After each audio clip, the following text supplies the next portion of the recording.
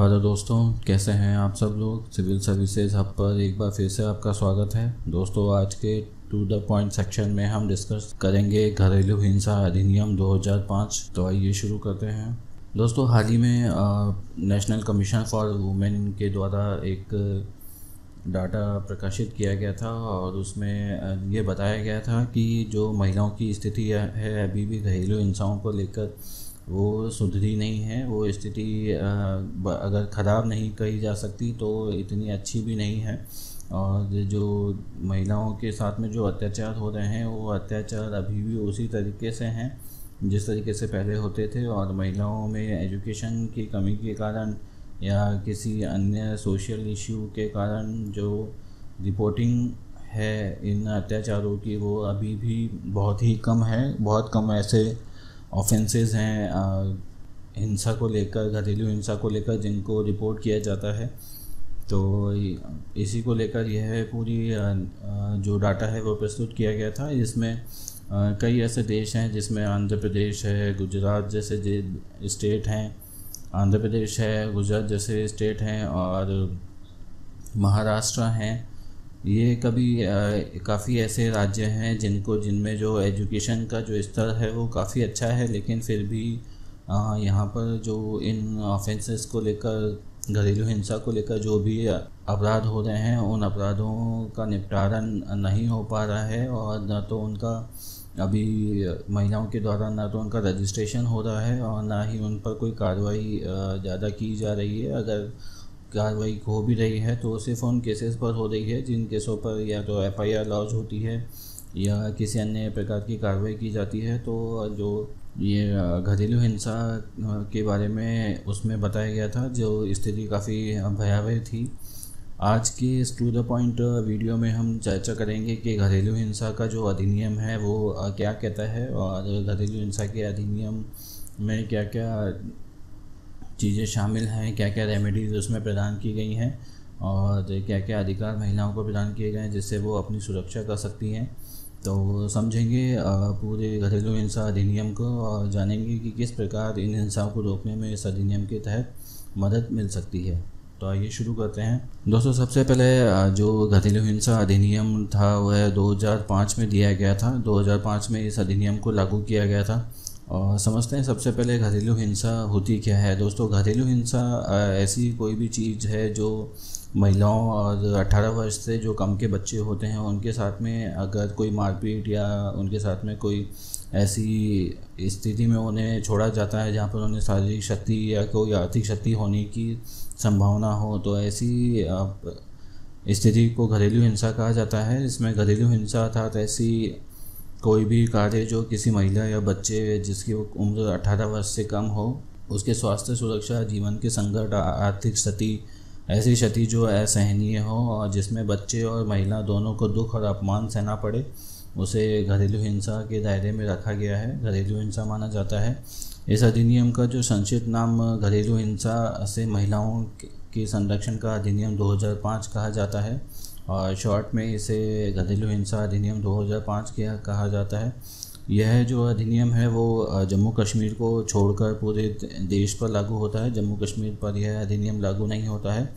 उसके अलावा पूरे देश पर यह अधिनियम लागू होता है। इसके अलावा इस कानून में निहित सभी प्रावधानों का जो पूर्ण लाभ प्राप्त करने के लिए समझना ज़रूरी है कि जो पीड़ित है, वो कौन है? यदि वह एक महिला है और उसके कोई रिश्तेदार या किसी अपने घर के सदस्य के द्वारा उसके साथ में दुर्व्यवहार किया जा रहा है तो वो इस अधिनियम के तहत पीड़ित माना जाता है। दोस्तों बेसिकली अगर किसी महिला के ऊपर, किसी भी उसके रिश्तेदार या किसी जानकार या कोई दोस्त या ऐसा कोई भी सदस्य जिसके साथ में महिला का संबंध हो, उस संबंध, उस संबंधी के द्वारा उस महिला को अगर प्रताड़ित किया जाता है तो उसे अधिनियम के तहत उसे पीड़िता माना जाता है और घरेलू रिश्तेदारों का आशय किसी दो व्यक्तियों के बीच से संबंधित हैं, जो वे या तो साझी गृहस्थी में एक साथ रहते हों या पहले कभी रह चुके हैं। दोस्तों, देखिए, इसमें एक देखने वाली बात यह है कि अगर वो महिला किसी व्यक्ति के साथ में अगर पहले भी रह चुकी है, पहले रहने के बाद में अगर उसके बाद में वो अब अगर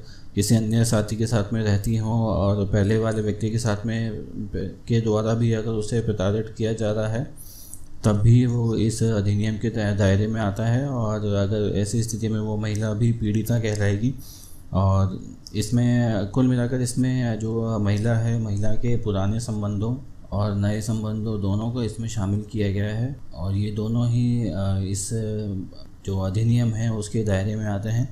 इसके अलावा घरेलू घरेलू हिंसा अधिनियम से पहले विवाहिता महिला के पास परिवार द्वारा मानसिक व शारीरिक रूप से प्रताड़ित किए जाने की दशा में भारतीय दंड की संहिता नाइन फोर एट ए के तहत शिकायत दर्ज करने का प्रावधान है। दोस्तों दोस्तों आईपीसी की धारा चार सौ अट्ठानवे क्या के के आ, साथ में इसमें जो केस है वो रजिस्टर किया जाता है। दहेज प्रथा अधिनियम उन्नीस सौ इकसठ के में वर्ष उन्नीस सौ तिरासी में हुए संशोधन के बाद में चार सौ अट्ठानवे कै को जोड़ा गया था। और यह एक गैर जमानती धारा है। दोस्तों, ध्यान में रखा दो, फोर नाइन्टी एट कै जो धारा है, वो नॉन बिलेबल है, गैर जमानती है, जिसके अंतर्गत प्रतिवादियों की गिरफ्तारी हो सकती है, पर पीड़ित महिला को भरण पोषण अथवा निवास जैसी सुविधा दिए जाने का प्रावधान नहीं था। दोस्तों, जब उन्नीस सौ इकसठ में दहेज प्रथा अधिनियम जब लागू किया गया था तो उसमें जो फोर नाइन्टी एट के, की जो धारा जोड़ी गई थी, उसमें पीड़िता को, के को जो भी पीड़ित करता था, जो भी उसे परेशानी देता था तो उनको, उनकी गिरफ्तारी का प्रावधान तो था, और उन्हें नॉन अवेलेबल वारंट के तहत गिरफ़्तार भी किया जाता था, लेकिन ऐसी स्थिति में महिला को जो भरण पोषण है और निवास जैसी जो सुविधाएँ हैं वो प्रदान करने का प्रावधान नहीं था। ऐसी स्थिति में जो पुराना जो नियम था उसमें महिलाएँ अक्सर इस सोच में रहती थी कि अगर उन्हें, उन्होंने अगर ऐसा कोई स्टेप लिया एफ़ आई आर कराई या किसी को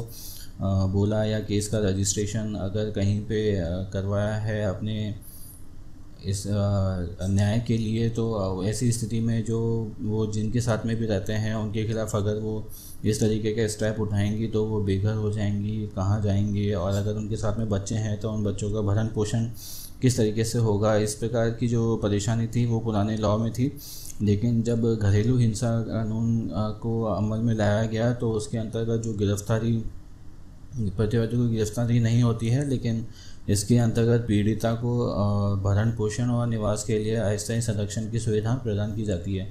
दोस्तों, घरेलू हिंसा के अंतर्गत जो केस रजिस्टर होता है, उसमें गिरफ्तारी तो नहीं होती है, लेकिन जो पीड़िता को भरण पोषण और अस्थायी संरक्षण प्रदान किया जाता है, जो कि इस लॉ में एक अच्छी बात है। इस स्थिति में महिला अपने ऊपर हो रहे अत्याचारों के खिलाफ आवाज़ उठा सकती है और एफ़ आई आर करवा कर या किसी अन्य तरीके से या महिला आयोग में अपनी कंप्लेन दर्ज कराकर उस केस को शुरू कर सकती है और न्याय की गुहार कर सकती है।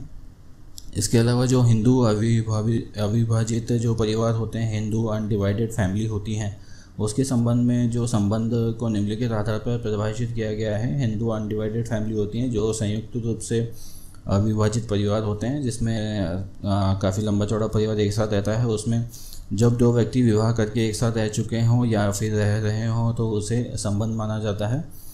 दूसरी स्थिति तब होती है जब दो व्यक्तियों के संबंध की प्रकृति विवाह की तरह हो और वो एक ही घर में रह रहे हों। अगर दोनों के बीच में विवाह नहीं हुआ है, लेकिन उसकी प्रकृति विवाह के तरह है, विवाह, एक विवाहित जोड़े की जैसे ही वो लोग रहते हैं और एक ही घर में रह रहे हैं तो ऐसी स्थिति में भी उसे संबंध माना जाएगा।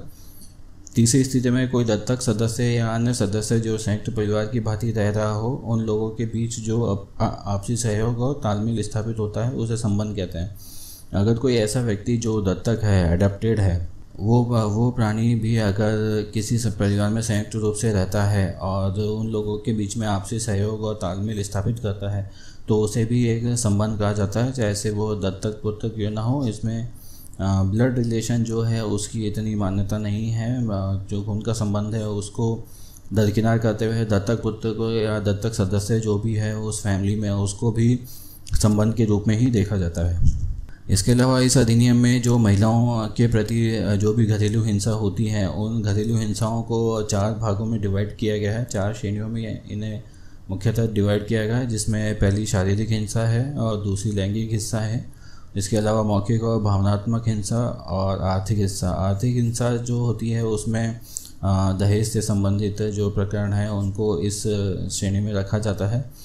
तो समझते हैं शारीरिक हिंसा किस तरीके से परिभाषित है, जिसमें मारपीट करना, थप्पड़ मारना, ठोकर मारना, दांत से काटना, लात मारना, मुक्का मारना, धकेलना या किसी अन्य की अन्य तरह की शारीरिक पीड़ा जिसमें कोई क्षति हो जाए या कोई शारीरिक अंग को हड्डी का टूटना या किसी और प्रकार की कोई अप्रिय घटना हो जाए तो उसे शारीरिक हिंसा के दायरे में लाया जाता है। इसके अलावा लैंगिक हिंसा इसका दूसरा भाग है, जिसमें बलात् लैंगिक मैथुन की स्थिति पैदा होती है, तब ऐसा किया जाता है, बलपूर्वक ऐसा किया जाता है तो इसे बलात् लैंगिक मैथुन कहा जाता है। उसके अलावा किसी महिला को या सदस्य, बच्चे को अश्लील साहित्य या कोई अन्य अश्लील तस्वीर देखने के लिए विवश करना, ऐसी स्थिति भी घरेलू हिंसा के दायरे में आती है। तीसरा, दुर्व्यवहार करने, अपमानित करने तथा नीचा दिखाने हेतु तो लैंगिक प्रतिक्रिया प्रकृति का कोई अन्य कार्य जिससे सम्मान को चोट पहुँचती हो, ऐसी स्थिति में भी जो ये कृत्य है, वो घरेलू हिंसा के दायरे में आता है। किसी भी यदि किसी भी पुरुष के द्वारा किसी महिला को शारीरिक रूप से कमज़ोर बताकर उसका अगर जो लैंगिक प्रगति है, उसके लिए अगर कोई कमेंट किया जाता है तो अगर उसके सम्मान को चोट पहुँचती है तो ऐसी स्थिति भी घरेलू हिंसा के दायरे में आती है। तीसरा जो मौखिक और भावनात्मक हिंसा है, इसमें अपमान करना, गालियाँ देना चरित्र और आचरण का दोषारोपण पुत्र न होने पर अपमान, अपमानित करना। दोस्तों, ये जो स्थिति है, वो हमारे देश में बहुत गंभीर है, जिसे बांझपन के नाम से जाना जाता है। और इस स्थिति में कई जो स्त्रियाँ हैं, उन्हें अपमान सहना पड़ता है और उन्हें प्रॉब्लम होती है। तो पुत्र न होने पर अपमानित करना भी इसी श्रेणी में आता है। दहेज इत्यादि न लाने पर अपमानित करना, इसके अलावा नौकरी करने से निवारित करना, नौकरी छोड़ने के लिए जो प्रेशर डाला जाता है परिवार वालों के लिए, उसे भी इस दायरे में लाया गया है। नौकरी और इसके अलावा विवाह नहीं करने की इच्छा पर भी विवाह के लिए विवश करना, जबरन विवाह करना भी इसके श्रेणी में आता है। पसंद के व्यक्ति से विवाह नहीं करने देना भी इसकी श्रेणी में है। अगर किसी लड़की के परिवार वालों के द्वारा, अगर किसी ऐसे व्यक्ति से उसकी शादी की जाती है, जिससे वो लड़की दर्जाबंदी नहीं देती है तो ऐसी स्थिति में भी घरेलू हिंसा का केस लगता है और किसी विशेष व्यक्ति के साथ विवाह करने के लिए विवश करना ये भी इसी दायरे में है। आत्महत्या करने की धमकी देना अगर आप किसी महिला को या, या, या किसी बच्चे को इस तरीके से विवश करते हैं कि आ, आप ये काम नहीं करेंगे तो हम आत्महत्या कर देंगे बेसिकली जो माता पिता होते हैं उन महिलाओं के या उन लड़कियों के तो उनके द्वारा यह कार्य किया जाता है, उन्हें आत्महत्या करने की धमकी दी जाती है। तो ऐसी स्थिति में भी घरेलू हिंसा का केस बनता है और कोई अन्य मौखिक या भावनात्मक जो दुर्व्यवहार है, वो भी इसी श्रेणी में लाया जाता है। इस प्रकार से जो ये सारे पॉइंट हैं, वो मौखिक और भावनात्मक हिंसा के रूप में देखे जाते हैं। इसके अलावा आर्थिक हिंसा है। आर्थिक हिंसा में बच्चों के अनुसरण के लिए धन उपलब्ध न कराना ऐसी स्थिति आर्थिक हिंसा होती है। और बच्चों के लिए के लिए खाना, कपड़े और दवाइयाँ उपलब्ध न कराना। अगर कोई व्यक्ति अगर जॉब करता है और उसके पास में अगर पैसे भी पर्याप्त आते हैं, ऐसी स्थिति में भी वो अपने परिवार का अगर भरण पोषण नहीं करता है और पैसे जो होते हैं, वो कहीं और या किसी अन्य व्यसन में या किसी अन्य चीज़ में व्यर्थ खर्च करता है तो ऐसी स्थिति में भी घरेलू हिंसा का केस बनता है। रोज़गार से रोकना और उसमें बाधा पहुंचाना भी घरेलू हिंसा का ही एक रूप है। वेतन से प्राप्त आय को ले लेना, अगर कोई महिला जॉब करती है और उसके पास में जो सैलरी आती है, उस सैलरी को अगर पुरुष या किसी परिवार के सदस्य के द्वारा ले ली जाती है और उसे खुद अगर उन पैसों को खर्च करने की अनुमति नहीं मिलती है या पैसे उसके पास में नहीं रखे जाते हैं तो ऐसी स्थिति में भी घरेलू हिंसा का केस बनता है। और इसके अलावा जो अगर कोई, मान लीजिए आपने महिला कोई काम वाली रखी हुई है या कोई और लेबर क्लास जो होते हैं, उन्हें अगर हम काम पे बुलाते हैं और काम करने के बाद में उन्हें निर्धारित वेतन नहीं देते हैं तो ऐसी स्थिति में भी जो घरेलू हिंसा का केस बनता है, और अगर आपके साथ में अगर ऐसी प्रॉब्लम हो रही है तो घरेलू हिंसा के तहत आप भी इस नियम को उपयोग में लाकर न्याय की प्राप्ति कर सकते हैं। तो दोस्तों, यह आर्थिक हिंसा के जो कुछ पॉइंट्स थे, उनके अकॉर्डिंग आर्थिक हिंसा का अगर केस अगर आपके साथ में होता है या आपके आसपास किसी को होता है तो घरेलू हिंसा के तहत केस रजिस्टर्ड किया जा सकता है। तो दोस्तों, ये कुछ इम्पोर्टेंट जानकारी थी घरेलू हिंसा अधिनियम 2005 के लिए।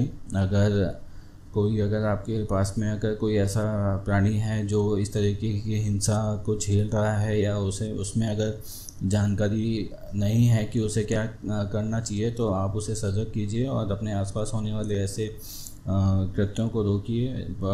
ऐसे कृत्य जो कभी हमारे देश में देखने को मिलते हैं, वो भारत के दूरस्थ स्थानों में या जो गाँव का जो एरिया होता है, उस एरिया में ज़्यादा देखने को मिलते हैं। इसका मुख्य कारण जो है, वो शिक्षा है।